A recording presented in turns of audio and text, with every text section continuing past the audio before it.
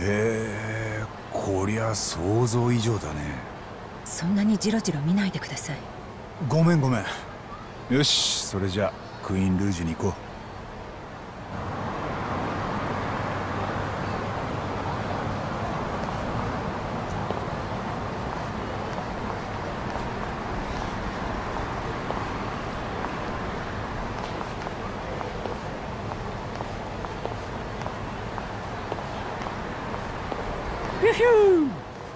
見ろよ。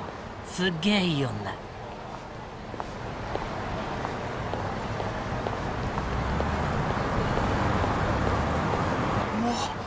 すごく綺麗な人だな。ちょっと何他の女に見とれてるのよ。あごめんごめんってば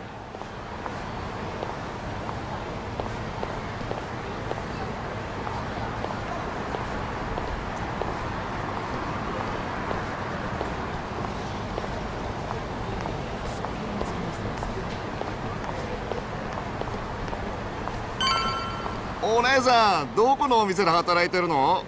よかったらうちに来ない？倍出すから。ね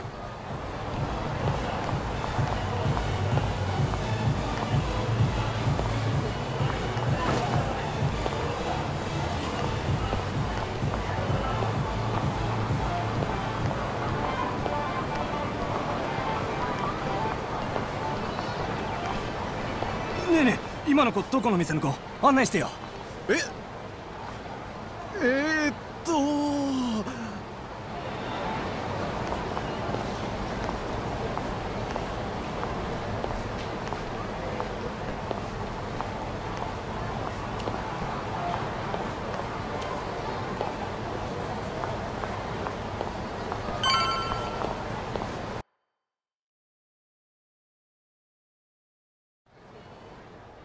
どうぞお待ちしておりました。いつもありがとうございます。おあんたか。例の写真の女の子は連れてきてくれるんだろそしたら今夜から働けるか。実際あって問題なければね。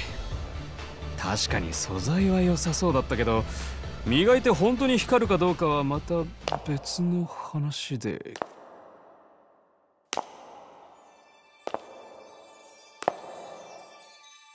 いやこれは。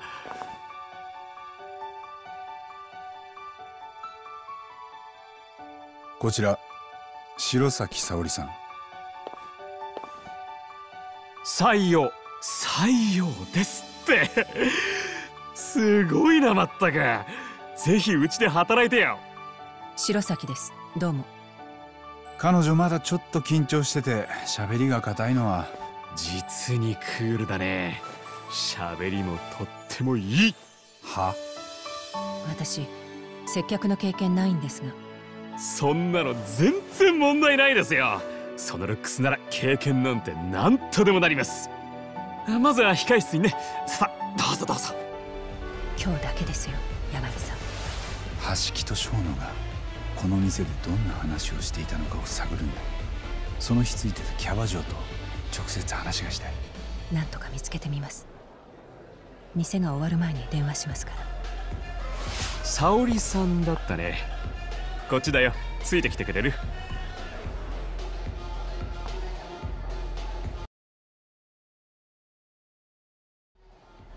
さて接客の経験はないってことだけど正直全然問題なさそうだね。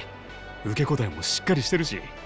そうでしょうかほらちゃんと丁寧語使えてるでしょ。若い子だといきなりタメ口とか普通だし。私若くありませんから。うちはカムロ町でも高級店の部類に入るから当然お客さんの質も他とは違ってくる。一流企業の幹部クラスが接待に使ったり芸能人がパーティーに使ったりすることもある。そういう人たちが相手の仕事になるからとにかく失礼のないように。OK? わかりました。あの何か気をつけることはありますか？まずはどんな話でもとにかく相づちを打つ楽しそうに興味あるふりをして褒めちぎれ。なるほど。褒め殺しですか？そしてグラスが空いたらすぐに注文を促す。あわよくば自分の分も一緒に。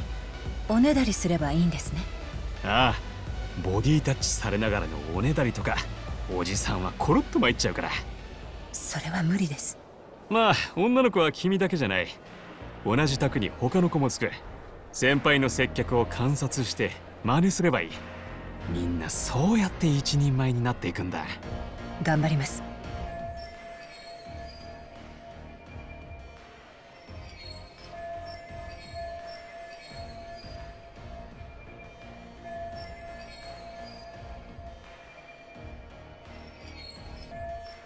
よーしそれじゃあそろそろ開店の時間だ。沙織さんにも早速入ってもらうよ。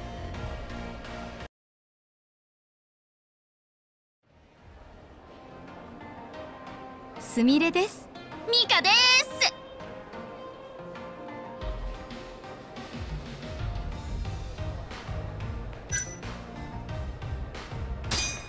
沙織と申します。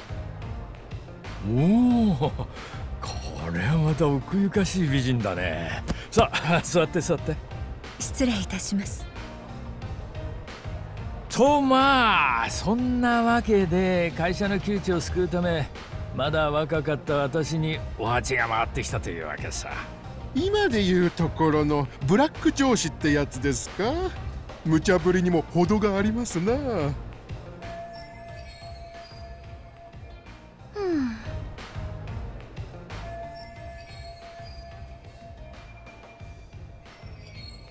でもそのピンチを無事に乗り切られたんでしょおわかる？ええ。だってすごく頼りがいがあるというか仕事できる感じがしますから。感じってそんな気がするってだけじゃないか。大事大事。この子はちゃんと見抜いてるの。うちの社長は気づくのが遅いんだよ。ったく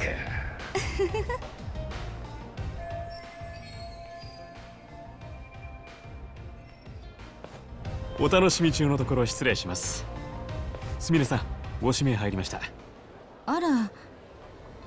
ごめんなさい。これで失礼しますね。しかし出世する人間というのは多かれ少なかれみんなそういう試練を乗り越えてるもんさ。おっしゃる通りで。君はどう？そういう経験ある？え？ー、っ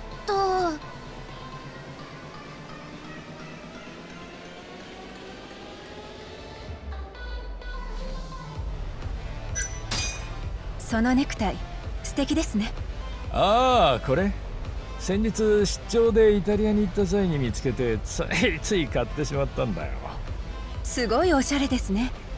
日本人で似合う人なかなかいませんよ。だよね。私もマジ好きかも。いやーさすがにお目が高い。私もそのブランドチェックしてみようかな。そんなに安くはないよ